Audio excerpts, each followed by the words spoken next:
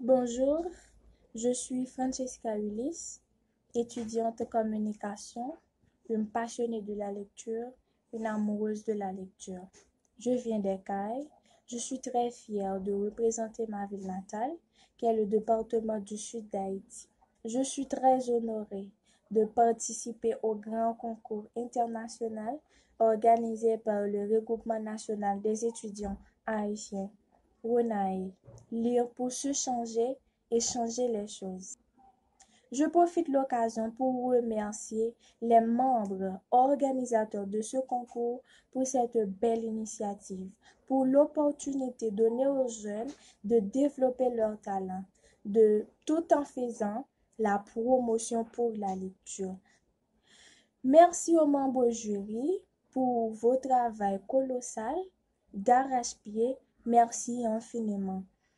Je prête ma voix à la société haïtienne précisément la jeunesse haïtienne, pour demander aux autorités étatiques de nous aider beaucoup plus. Un minimum d'efforts va nous suffire, tout en faisant pour nous des bibliothèques partout dans le pays. Des écoles, des universités, des écoles professionnelles pour aider les jeunes à enrichir leurs connaissances, à développer beaucoup plus sur le plan intellectuel. Le but de ce concours, c'est de partager euh, la connaissance. C'est de dire ce que fait le livre, ce que fait la lecture en soi. Je vais vous présenter, je vais vous parler un peu d'un livre qui m'a beaucoup changé, un livre qui m'a changé la vie et qui m'a donné une nouvelle naissance, disons. Ce livre a pour titre Un pied à l'école, un pied dans le business. C'est un intéressant ouvrage écrit par Bélias Valère, contient 202 pages, divisées en plusieurs chapitres. Belair raconte ce que l'étude et le business. Il essaie d'équilibrer ces deux choses. Il raconte comment les gens qui ne peut pas commencer, trouve des excuses, mais les personnes qui veulent faire quelque chose trouvent un moyen. Lui, pour commencer, il n'avait pas d'excuses pour commencer, mais il trouvait un moyen pour commencer. Il essaie de répondre les questions toutes et les questions que les gens sont souvent posées avant de commencer. Je n'ai pas d'argent. Je suis trop jeune. Je peux pas et je peux pas commencer un business pendant que j'étudie, pendant que je suis étudiant. Maintenant, il essaie de répondre ces questions-là. Il essaie également de répondre les questions que les gens sont souvent posées concernant l'argent, en disant que l'argent, c'est du diable. L'argent ne fait pas le bonheur. Euh, il est compliqué pour quelqu'un riche d'aller au ciel. Il répond en disant non. Il raconte son histoire. Comment il fait pour commencer son business pendant qu'il étudie. Pendant qu'il étudie.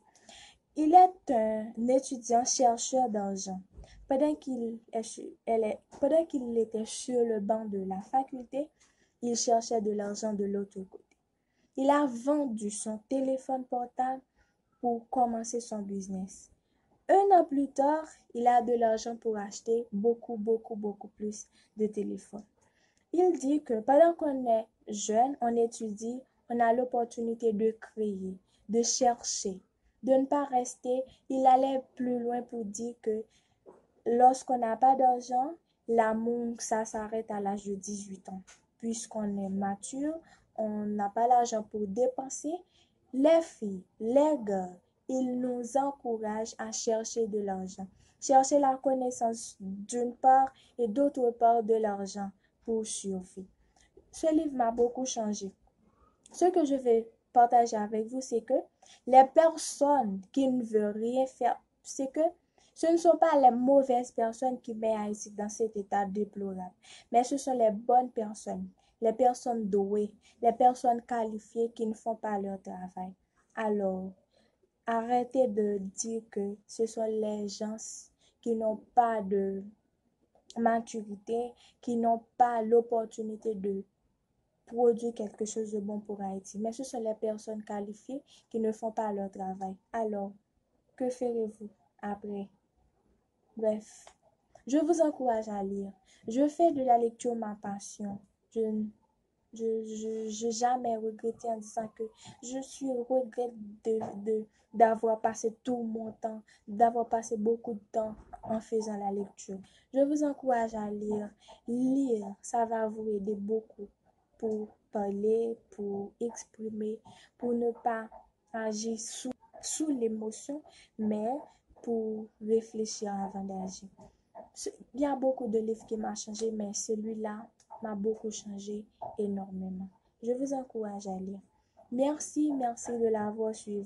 N'hésitez pas à liker. Abonne-toi d'abord. Liker, commenter, partager la vidéo. Merci, merci